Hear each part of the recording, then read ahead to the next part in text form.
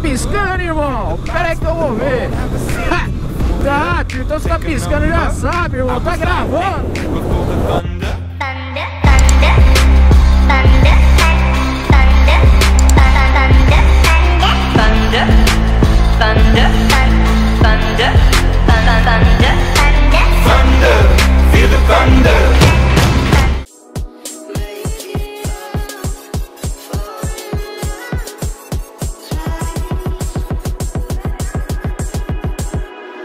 Saindo um fumacê desse freio, mano. Isso aqui é normal, tio? Tá feio, tá queimando tudo a lona aí, tiozão. Será que o cara tá vendo? Vou avisar ele, né, mano?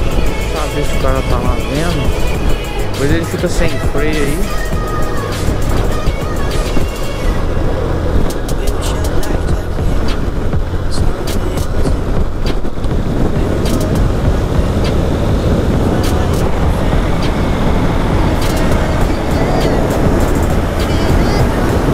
Tá saindo fumaça do seu freio.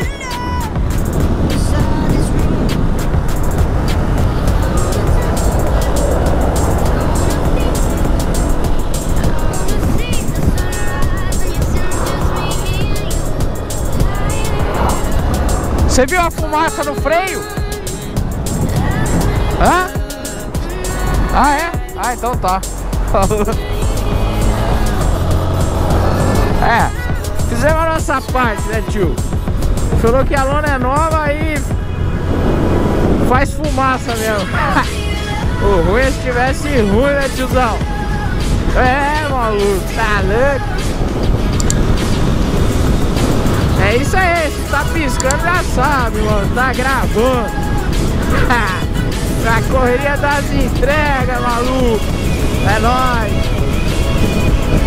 Amém, glória a Deus, mais uma, uma palavra, uma porção da mensagem, da palavra do Senhor para alcançar a tua vida, para transformar a sua vida, para fazer a tua vida uma vida que valha a pena ser vivida. Tem gente que sobrevive, mas Deus não veio, Jesus não disse, eu vim para que você sobreviva, não, eu vim para que você tenha vida e tenha uma vida plena, abundante, abençoada por mim.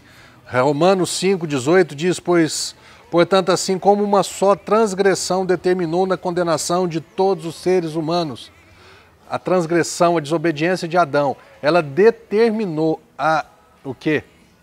A condenação de todos os seres humanos.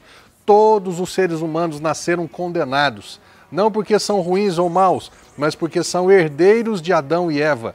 Receberam essa condenação por causa da desobediência de Adão. Assim, igualmente, um só ato de justiça, não meu, nem seu, mas um ato de justiça de Jesus, resultou na justificação, ou seja, na absolvição que traz vida a todos os homens. O que Adão fez trouxe morte. O que Jesus fez trouxe vida. Você está em qual? 50% a raça humana é dividida em dois. Ou está vivendo segundo o que Adão fez, ou está vivendo de acordo com o que Jesus já fez ou ainda está morto, vivo, né? Walking Dead, zumbizão da vida aí. Está vivo, mas morto, espiritualmente. Ou está vivo e vivo. Vivo na carne, vivo na alma e vivo no espírito, baseado no ato de justiça, na entrega de Jesus, na morte e na ressurreição de Jesus em favor da vida dele. De qual lado você está? Amém?